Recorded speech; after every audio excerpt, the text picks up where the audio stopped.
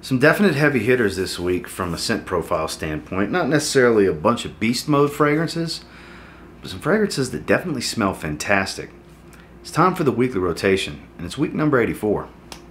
So stay tuned.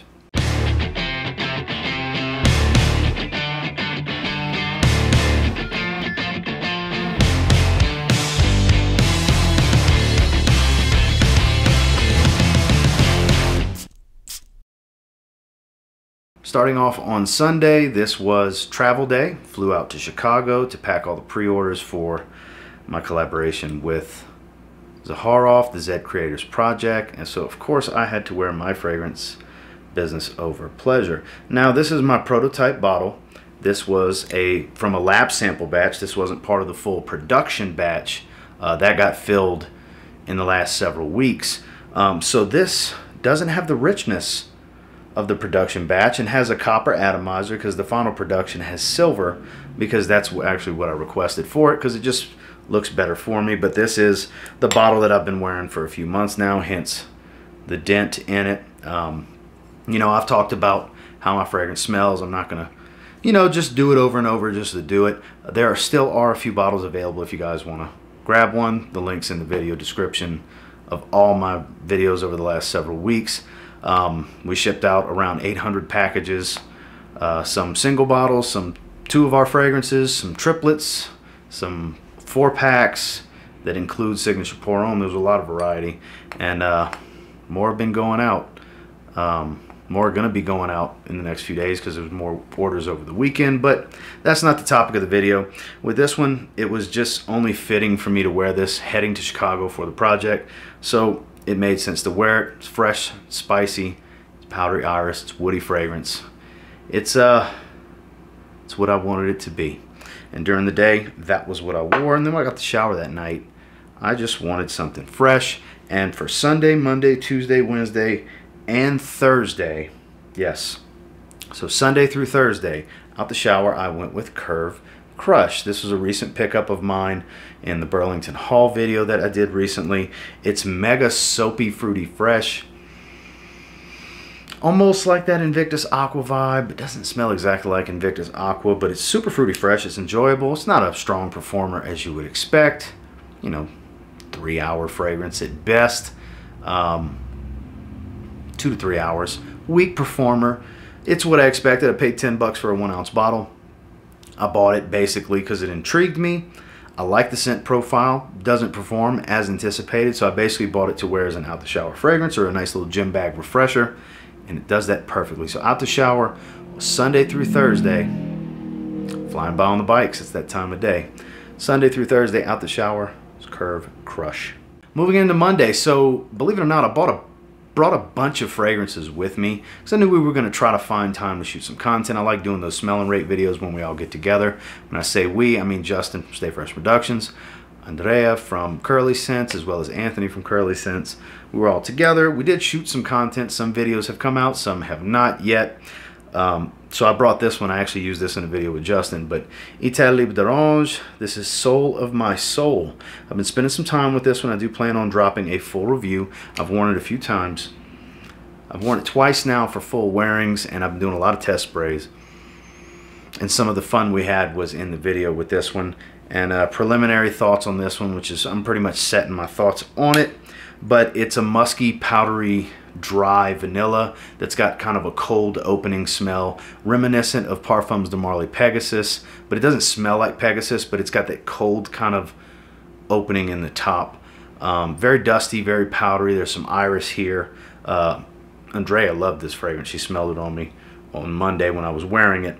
Um, gorgeous fragrance that's wearable and enjoyable, which is out the norm for sometimes for Etat Libre d'Orange if you have any experience with them, you'll know a lot of their fragrances can be somewhat challenging to wear, not the most wearable fragrances.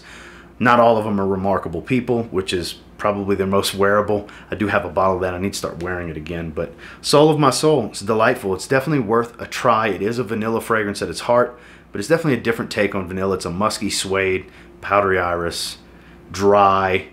It's enjoyable though, very unisex, and that's what I wore on Monday. Etat Libre d'Orange, Soul of My Soul. Moving into Tuesday, I went fresh, I went green, I went easy to like. I went with Maison Francis Kurkdjian, Aqua Celestia Forte. This was one I used in the video with Justin as well. I just dig this fragrance. I've done a full review on it. I love it. I'm so glad I bought it. it smells so good. Such a believable petitgrain. Minty green, fresh, but not super minty. This lime citrus up top. It's lovely.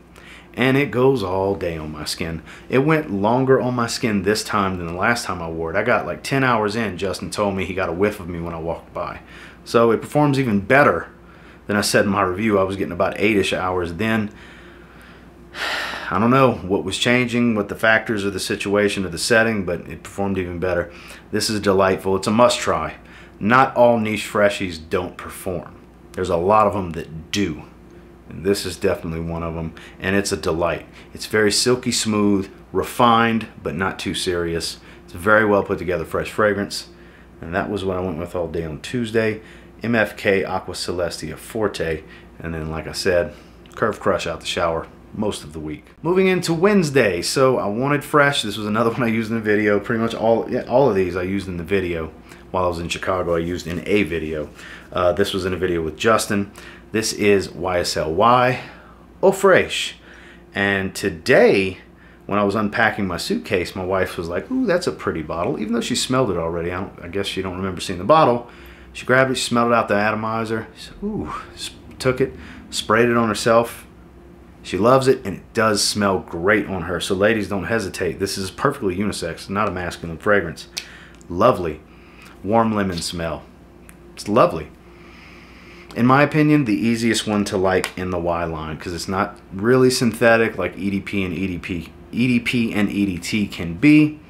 Um, it's just fresh and enjoyable, versatile. It's not some mold breaking scent profile, but you do smell the Y DNA in the background while having a dominating lemon ginger smell up top. It's quite lovely.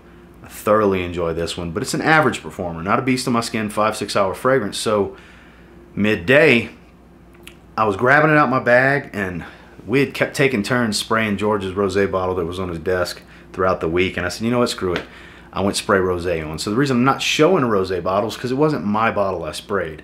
I like to be, you know, accurate and use the right bottles. But Zaharoff Signature Rosé was my refresh that I enjoyed for the rest of the day because we still had like another six or seven hours of work ahead of us for the day. And I was digging smelling like rosé. So on Wednesday, it was YSL Eau Fraiche, Zaharoff Signature Rosé, and then when I got the shower that night, once again, was Curve Crush. Moving into Thursday, I'm still doing testing on this one. I have a full review I plan on doing very soon. Uh, I used this in the video with the Curly Scents team. This was their favorite besides Montale Intense Cafe. It got great reactions. I love the way it smells. I love the way this one smells. I do think after spending time with it now that I do like it more than its original.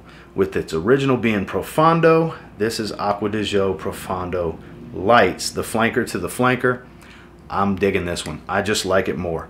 The green notes really come out on my skin. I just like it. It's still Profondo at its core. In the dry down, it's still mostly Profondo, but the greens in this one, the fresh, fresh, spicy greens. The Acqua di Gio DNA is here as well as the profondo enhancement and change of the DNA, you get all three nuance, all three of the essences of those fragrances. You get what's different with this one, with the profondo base and the heart of Acqua di Gio. I hope that makes sense. Makes sense to me. Hope it makes sense to you. This is delightful, and it actually still performs very well on my skin. Not quite beast mode level like Profondo, but bordering it every bit of seven to eight hours on my skin and it's quite loud in the first two hours not the bordering room filler that profondo is because this is a much fresher take but it's still no slouch full review coming soon but i'm absolutely digging the hell out of this one i've yet to smell a, a, a Acqua di Gio fragrance i didn't like I have all of them that are not special editions. Like I don't have Profondo special edition. I don't have that blue waves looking bottle of the original. I don't have the special editions, but I have all of the flankers essentially, except for Essenza. That one eludes me, and uh, it never they never disappoint me. They never seem to disappoint me, and this one is nothing short of that. This is a delightful flanker of a flanker, in my opinion. I was worried it would be a waste, but it's actually quite nice. Moving into Friday. So obviously there were production bottles all over. I did take some backup bottles for myself. I'm not going to create this fragrance and not have more than one bottle. I do have a few bottles. Um, I had two prototype bottles. One was a backup. I haven't touched that one. But I don't think I'll be using those anymore because like I said earlier, the production batches of Business Over Pleasure are richer in their scent profile. I like the added richness of the scent and then, so you can see the juice level is not see here's both bottles. So the juice level is a bit different because I just started wearing this bottle. This will be the bottle I'll wear going forward. And doesn't that look better? Doesn't that look better? In my opinion it does. Let me pull the cap off of this one too. So comparatively this was the prototype. This is the production. I personally think the silver looks better it was exactly what I wanted it was exactly what I got and spray it it's just richer.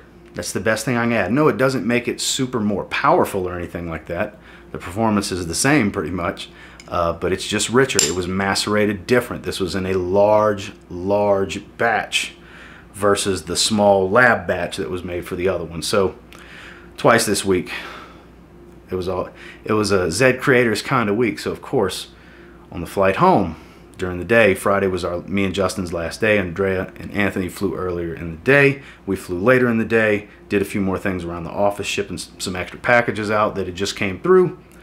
And I wore this. And I actually refreshed when I got on my flight because I just wanted to sit there and kind of enjoy it while I took a little nap on the flight. So on Friday, business over pleasure, the production batches. And then when I got home, so I did not bring a razor with me. I messed up. So I was looking rough. I was ready for a shave. So when I got home, got out the shower, I used my Strike Gold Shave Happy Land Studio Barbershop shave set and aftershave splash, splash once again.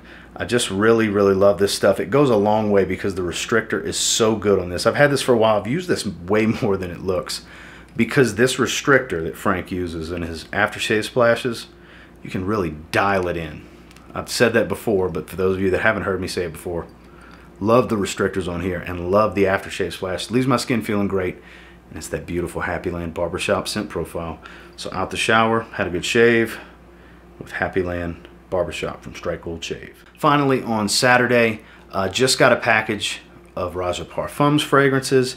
I immediately wanted to wear this. Um, I had plans to wear something else, but then I unboxed this package. But Roja Parfums, Oceania. I don't know how they managed to get this salty marine aquatic dry down smell without any sea notes and aquatic notes and all this other stuff. It's crazy to me how that worked out. Beautiful atomizer. Man, a bunch of citruses. There's some iris and violet in here to add this powdery floral nature. It's not a heavy wear. It's not crazy loud. It doesn't go away though. It's long lasting love love the jewels. It's not going to focus because of the light show it's giving me. Me do my hand first. And maybe with the blue jewels on there. Love it. Love love love how it looks. I'll be doing a full review of this one at some point. I'm going to spend some more time with it first. But preliminary thoughts from this first wearing this was it's at the recording of this it's Saturday night late late in the evening. And this was what I wore throughout the day. I did not have to refresh. It's just good as with most Roja Parfums fragrances, not a challenging wear, easy to like, easy to wear, light blue style fragrance where super fresh, super easy, everything about it's easy. Um, very unisex, everybody can wear this one. The quality, it does have a little bit of a synthetic nature in the dry down where it gives me that salty ambergris kind of aquatic smell, but that's really it. Everything else about it screams quality to me, and I really, really, really enjoyed wearing this one today. Like I said, full review coming in the near future. Roja Parfums Oceania. And then when I got out the shower, I am currently wearing Paris Hilton for Men. Another one, same haul as the Curve Crush fragrance that I wore most of the week out the shower. This was in that same haul from Burlington. This stuff's great. I don't really get fig. The melon smell I was getting turns out it's a mango note. Um, and the cucumber was just distinctive. I smelled that right off the first spray. Watery cucumber smell. It's got mountain air as one of the notes. It's a fantasy note. And look, I'm not saying it smells like mountain air. I do live in the mountains. but it's definitely got a strong, airy type of thing going for it. Watery, fresh, cucumber melon, even though it's a mango note. It's delightful. Weak performer? Sure. Great smell? Absolutely. Cheapy gold? I think it's cheapy gold. Great for a gym scent, great out the shower. Great to just run errands as long as you're not going to be more than three hours because it's not a strong performer. But I'm telling you, smells fantastic out the shower on Saturday. Paris Hilton for men. Well, that was the rotation for week number 84. And until next time, do me a real quick favor. Go ahead and like, comment, subscribe. Because I do appreciate all the feedback and I love hearing from you guys. Those of you that watch these weekly rotations pretty often, you know the drill. Let me know what you wore down below. I'm always interested to read that because I do read all of my comments.